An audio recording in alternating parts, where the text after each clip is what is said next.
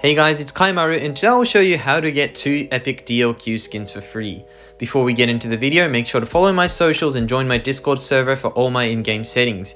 It will mean the world to me if you can like, subscribe and turn on notifications. Alright, let's get right into the video. Firstly, with the new draw released today, your first draw is free, and there is a fresh new DLQ skin. Since the DLQ is an epic, there is actually a pretty high chance you'll get it, and yes, I've got some DMs from my viewers who got this already. Sadly, I got a cluster grenade, but hopefully most of you will get this DLQ on your first try. Next is the DLQ in the clan store. I've realized that many people don't know that there is actually a pretty clean DLQ skin in the clan store. If you want a clan leader, ask your leader to buy this for you. Who doesn't want a free DLQ skin, right?